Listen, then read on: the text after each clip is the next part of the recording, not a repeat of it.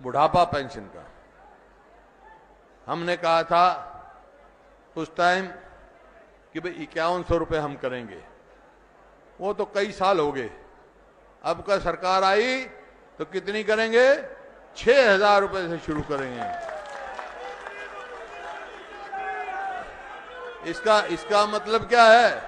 इसका मतलब है आजकल जो है ना 200 200 के नोट चल रहे हैं ना 200 का।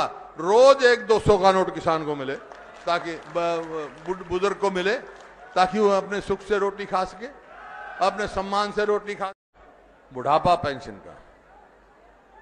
हमने कहा था उस टाइम कि भाई इक्यावन सौ रुपये हम करेंगे।